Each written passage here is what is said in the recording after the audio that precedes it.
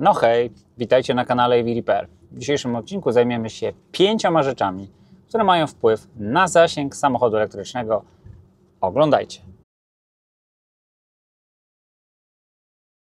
Jako, że seria 5 rzeczy bardzo Wam się podoba, to postarałem się tym razem ponownie skumulować pewną wiedzę, którą już wielokrotnie Wam przekazywaliśmy w różnych materiałach, w różny sposób, w pięć takich głównych punktów, które postaram się pokrótce omówić. Czyli pięć rzeczy lub pięć zdarzeń, pięć zachowań, które mają wpływ na to, jak, jaki zasięg ma Wasz samochód elektryczny. Pierwszy punkt ogólnie bym określił jako warunki atmosferyczne. No i na te warunki atmosferyczne składa się parę rzeczy, które mają wpływ na zasięg albo wydajność samochodu elektrycznego podczas poruszania się. No i tutaj na przykład może te rzeczy mogą mieć wpływ i negatywny, i pozytywny, także też na to bardzo mocno zwróćmy uwagę, jak będziemy o tym mówić. I tutaj mamy, możemy wymienić temperaturę, opady atmosferyczne, e, jak i wiatr. Wiatr tak wspierający nas podczas jazdy, czyli wiatr od tyłu, jak i wiatr przeciwny, który nam niestety nie sprzyja podczas jazdy. E, pierwsza rzecz, chyba najważniejsza, to są warunki temperaturowe, czyli to, co się dzieje w momencie, kiedy temperatury spadają lub ro, rosną z samochodem elektrycznym. Ja miałem wiele razy okazję zobaczyć, jak to się zmienia, jadąc na przykład w zimie z Polski do Hiszpanii, e, gdzie w Polsce ten zasięg samochodu był wydatnie krótszy.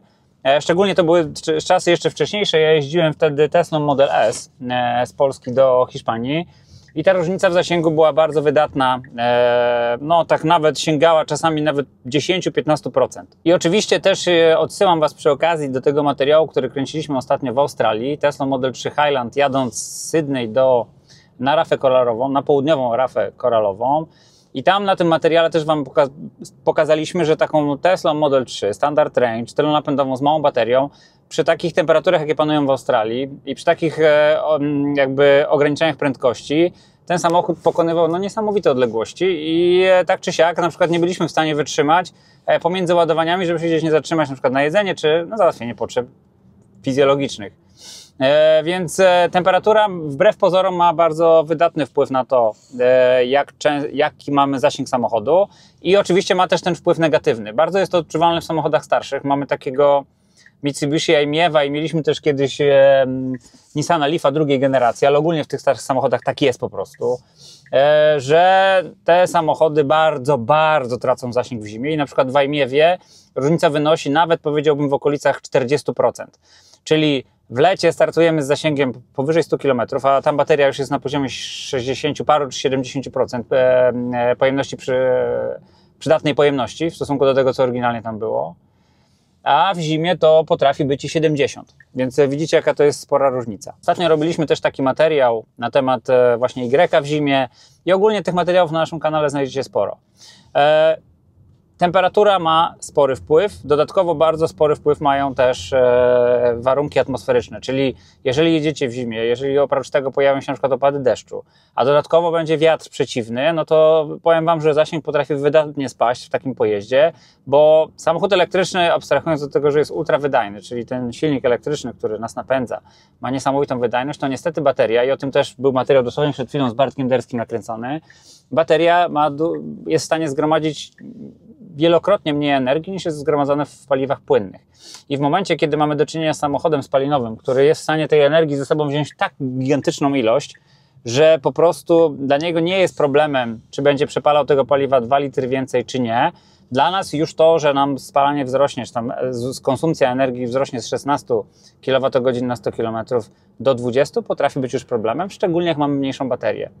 Więc e, no to ma istotny wpływ. Oczywiście tego nie jesteście z, z reguły w stanie uniknąć. Jedyne co możecie zrobić, możecie próbować samochód podgrzać. Co ja mam na myśli? Chodzi o to, że warto jest na przykład przed podróżą samochód mieć podłączony do ładowania, skondycjonować sobie baterię, czyli spowodować, że ona zostanie podgrzana i wtedy ruszycie samochodem tak, że już nie będziecie musieli w czasie jazdy tej baterii podgrzewać, co spowoduje, że ten zasięg Wam się wydatnie wydłuży. Czyli ruszycie tak, jakbyście już przejechali te powiedzmy pierwsze 50 km, podczas których te, ta bateria by Wam się nagrzewała, samochód jakby cały by się podgrzewał, no bo pamiętajcie też, że samochód elektryczny rozgrzewa się dłużej z tego względu, że większość energii jest skierowana na koła, a nie na wytwarzanie temperatury, więc tej, jakby tej, tego odpadu temperaturowego podczas pracy się w ogóle całego układu elektrycznego jest tak mało, że ciężko jest szybko go wydobyć. A dodatkowo w zimie oczywiście musisz też się podgrzać w kabinie, więc albo trzeba podgrzać PTC heater, albo trzeba, e, albo trzeba o, korzystać z pompy ciepła. Tak czy siak są to jakieś wydatki energetyczne,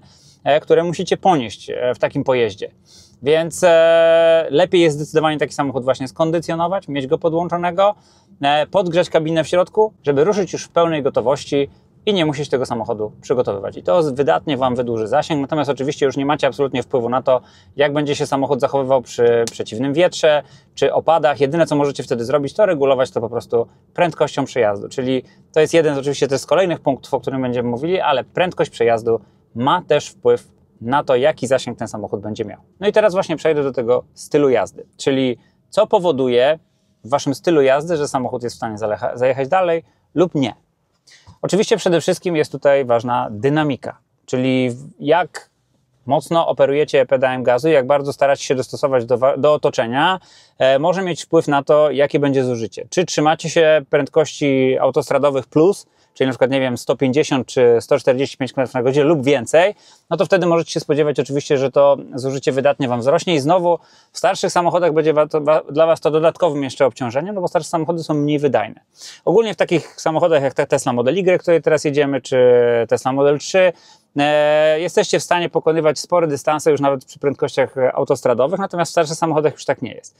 Ogólnie z, mojej, z mojego doświadczenia e, wynika, że samochody elektryczne najfajniej zużywają energię w prędkościach w przedziale od 105 do 115 km na godzinę i wtedy ten zasięg wydatnie się wydłuża, a zużycie energii wydatnie spada i tutaj też mamy taki materiał e, Tesla Model 3 do Pragi, taką trochę zawiłą drogą jechaliśmy i tam też udało nam się osiągnąć bardzo dobre wyniki, jeżeli chodzi o zużycie energii. Także przy okazji oczywiście będziemy Was odsyłać do tych materiałów. Samochód elektryczny, tak jak samochód spalinowy, przy częstej zmianie stylu jazdy, czyli na przykład takiej dynamizacji, że startujemy ze świateł, czy ścigamy się z innymi samochodami. Ja wiem, że w samochodzie elektrycznym ciężko się powstrzymać, chociażby dlatego, że samochód elektryczny naprawdę ma fajne przyspieszenie i to e, wiem, że te miny żedną tym ludziom w samochodach spalinowych, którzy próbują się z Wami ścigać, ale z drugiej strony oczywiście pamiętajcie, że wtedy wydatnie zwiększacie konsumpcję energii i ten cały jakby wysiłek, który musi ponieść bateria, żeby dostarczyć tą energię, jest wydatnie zwiększony e, w momencie, kiedy coś takiego robicie. I to powoduje, że to zużycie energii jest większe. I tak samo też, e, jeżeli będziecie manewrować tą prędkością, ścigać się,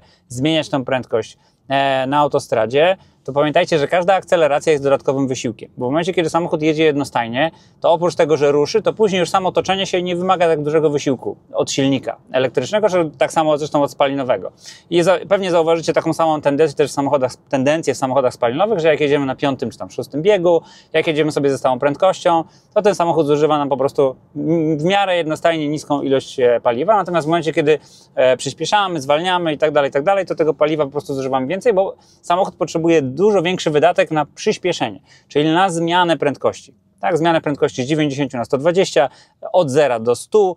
E, ten samochód ma dużo wyższe zapotrzebowanie na energię. Jeżeli tego unikacie, staracie się jeździć w miarę delikatnie, e, bez specjalnego szarżowania, to na pewno to zużycie będzie dużo mniejsze. Ja to też mam przykład tego, kiedyś robiłem taki test, niestety go nie nagrałem, Natomiast e, robiłem taki test dystansu w, jeszcze w Peugeotie Ionie, który też miał już baterię tam na poziomie prawie 70%. E, musiałem jechać na drugi, drugi koniec Warszawy, to było chyba bodajże 70 km w jedną stronę, a ten samochód maksymalnie mi wtedy pokazywał 100 km zasięgu. A ja pojechałem w dwie strony bez ładowania, ale jechałem chyba w okolicach tam średnio wyszło 40 na godzinę. Także da się. Jechałem po prostu, przyspieszałem bardzo powoli, starałem się maksymalnie odzyskiwać energię tam, gdzie to było możliwe. I tutaj myślę, że takim osobą, którą w moim otoczeniu, która najlepiej jeździ i umie wykorzystywać te wszystkie właśnie uwarunkowania, i tutaj też będzie kolejna rzecz, czyli ukształtowanie terenu między innymi, e, jest pani prezes, e, Patrycja. Ona potrafi e, samochód wrzucić na bardzo niski tryb zużycia energii, na przykład na trasie. Co ona robi? Ona zjeżdżając z górki, zamiast wykorzystywać rekuperację, która de facto nam odzyskuje co prawda część energii, ale nigdy tyle, ile spożytkujemy na przyspieszenie, ona przyspiesza z górki, oczywiście w ramach e, albo w zakresie obowiązujących przepisów, a pod górkę nie wciska pedału akceleracji. I w ten sposób udaje się zminimalizować zużycie energii.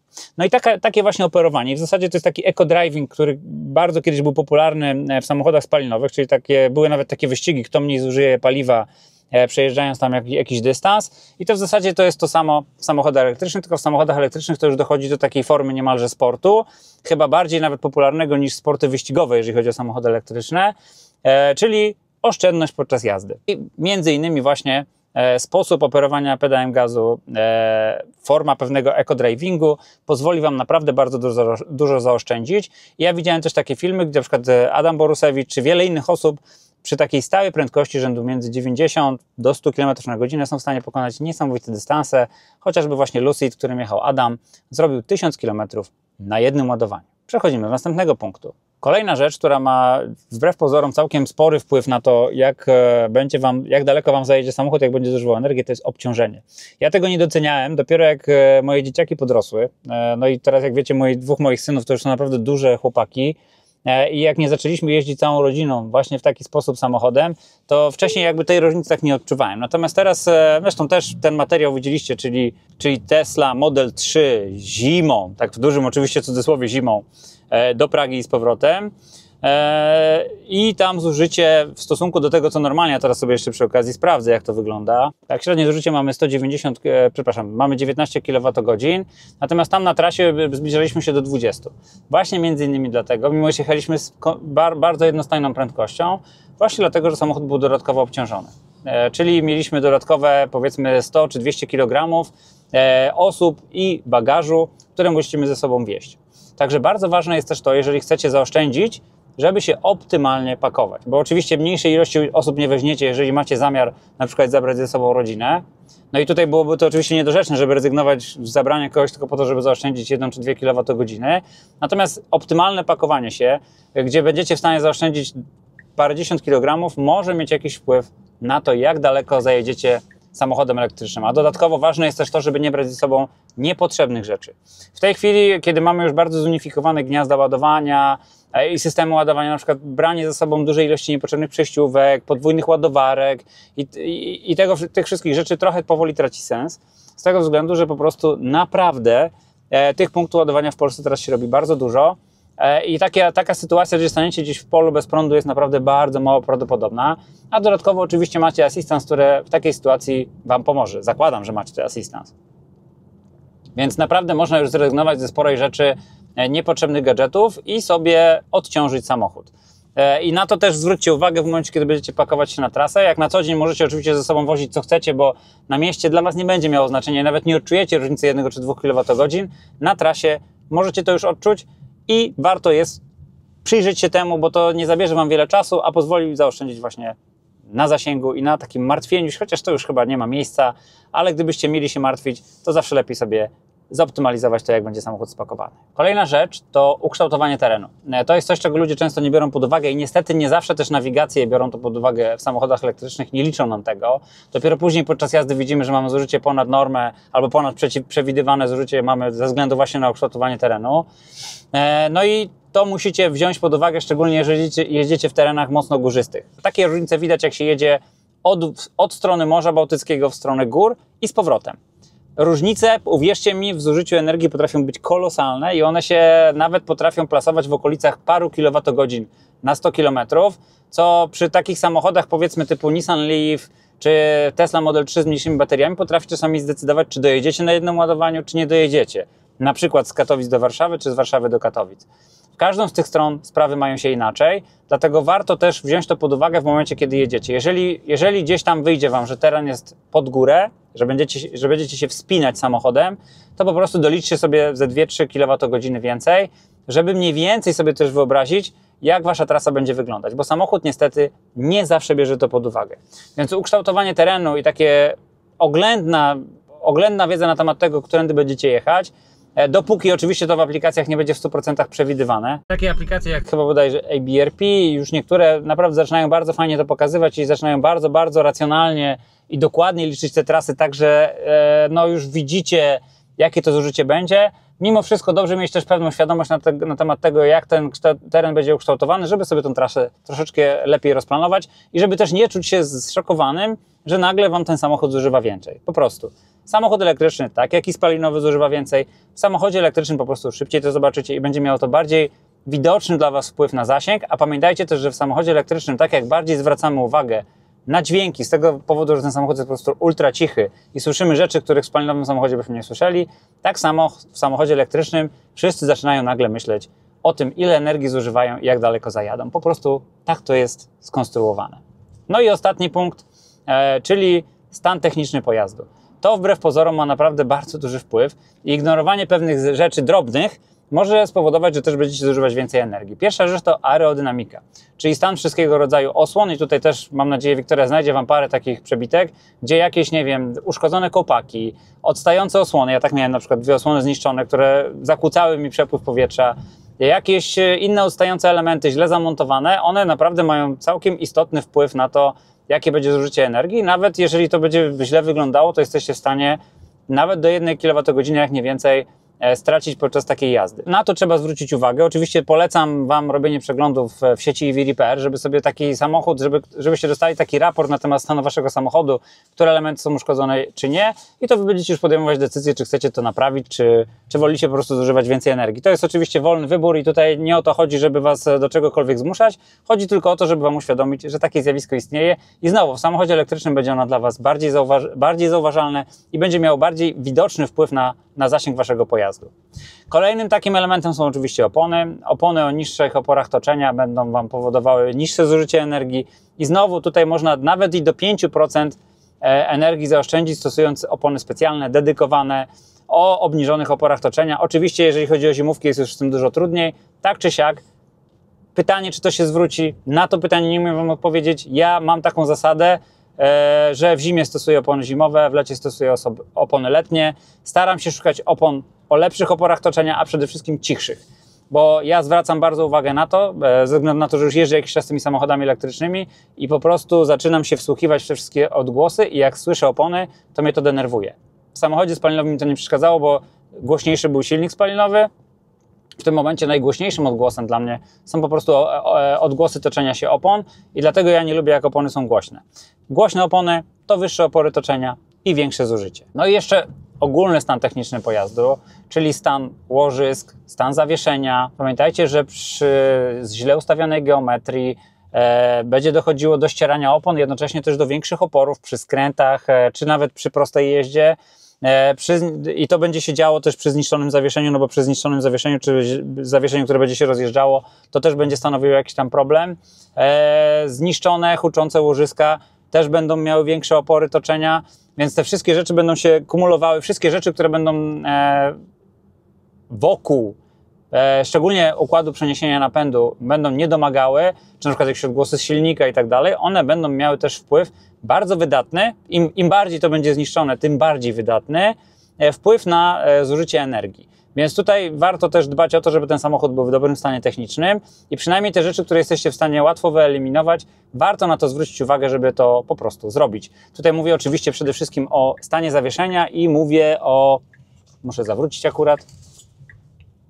Mówię o stanie zawieszenia e, i o stanie takich podstawowych elementów przeniesienia napędu. Tutaj jeśli chodzi o łożyska w piastach, elementy metalowo-gumowe, czy jakiekolwiek inne, które ulegają zużyciu, po prostu warto sprawdzić na przeglądzie, co się z tym dzieje, a jeżeli zauważycie jakiekolwiek efekty dźwiękowe, czy jakieś związane właśnie ze sterownością samochodu, które będą miały wpływ na komfort jazdy, możecie też mieć przekonanie lub przynajmniej podejrzenie, że będzie miało też to wpływ na zużycie energii. Także warto po prostu przyjechać i to przynajmniej sprawdzić, a najlepiej było oczywiście by to naprawić, bo to, świat, bo to będzie jakby mm, zapewniało Wam lepsze bezpieczeństwo podróżowania, a dodatkowo obniży zużycie energii. Mam nadzieję, że udało mi się wymienić wszystko, albo przynajmniej tak mi się wydaje, wszystko, co mi przychodzi do głowy, jeżeli chodzi o te elementy związane z tym, co podnosi konsumpcję energii w samochodzie elektrycznym. Gdybym cokolwiek pominął lub e, uważacie, że coś trzeba byłoby dodać, to wielka prośba, abyście o tym wspomnieli w komentarzach. Bardzo często i coraz częściej Wasze komentarze powodują, że my jakiś materiał nakręcamy lub po prostu nakierowujecie nas na jakiś temat, tak jakby chociażby ostatni wywiad czy rozmowa w zasadzie z Bartkiem Derskim na temat rozwoju energetyki też była spowodowana akurat negatywnymi komentarzami hejterów elektromobilności, ale tak czy siak to też ma jakiś wpływ na nasze decyzje odnośnie tego, czym się akurat zajmujemy. Eee, znowu, bardzo serdecznie Wam dziękuję za dotychczasowe lajki, za dotychczasowe subskrypcje. Wszystkich nowych oglądających zapraszam do subskrybowania, bo nic tak nas nie motywuje do pracy jak Wasze subskrypcje. Bardzo Wam serdecznie dziękuję. Do zobaczenia.